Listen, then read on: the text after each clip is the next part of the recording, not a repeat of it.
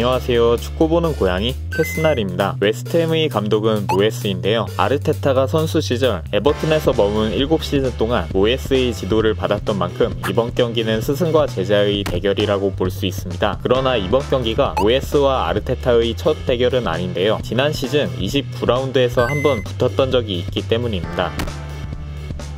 당시 모예스는 아르테타를 아주 힘들게 했었는데요. 일단 자카 시프트 움직임의 효과 중 한 가지를 알아야 합니다. 왼쪽 풀백이 높게 올라가고 자카가 후방으로 내려갑니다. 이때 왼쪽 풀백을 막아야 하는 상대의 오른쪽 윙어가 자카에게 유인당하고 높게 올라간 왼쪽 풀백을 자유롭게 만드는 원리인데요. 당시 모예스는 이런 전술을 막기 위해 오른쪽 윙어 보엔을 자카에게 붙게 하지 않고 왼쪽 풀백이었던 사카를 막게 했습니다. 보엔은 좋은 위치 선정과 예측력으로 아스날의 공격을 어렵게 했고 위협적인 장면도 만들어냈었습니다.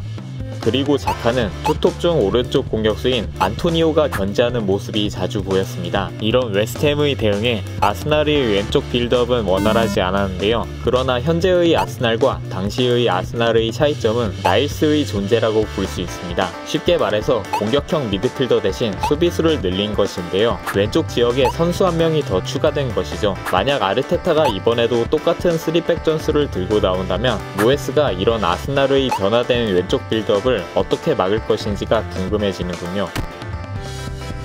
웨스트햄의 윙포워드는 보엔, 야르몰렌코, 포르날스, 필리페 안데르손 등 왼쪽에는 오른발잡이를, 오른쪽에는 왼발잡이를, 즉 정발이 아닌 짝발로 배치하는 것이 특징입니다. 모예스는 팀의 윙플레이를 양쪽 풀백에게 맡기기 때문에 윙포워드들은 안쪽으로 들어가게 되는데요. 이렇게 안쪽으로 파고드는 플레이를 펼치기엔 정발보다는 짝발이 수월하기 때문입니다. 이런 움직임으로 중앙에 선수를 많이 배치시키는 것이 웨스트햄 공격의 특징입니다. 여기에 수비형 미드필더 소우첵은 후방에서 플레이하다가 팀의 크로스 상황이 되면 박스 안 침투를 통해 헤딩을 노립니다. 이런 움직임을 가져가는 것은 소우첵이 공중볼에 아주 강한 선수이기 때문입니다. 소우첵은 191cm의 장신으로 지난 시즌 공중볼 경합 승리를 무려 경기당 평균 5.5회나 기록했습니다. 아스날에서 공중볼에 가장 강한 무스타피가 4.3회였다는 걸 보면 소우첵이 얼마나 강한 선수인지 알 수 있는 대목이죠. 아스날은 이렇게 침투하는 소우첵에 대한 대비가 필요해 보입니다. 반면 웨스트햄은 이렇게 많은 숫자가 공격에 가담하는 만큼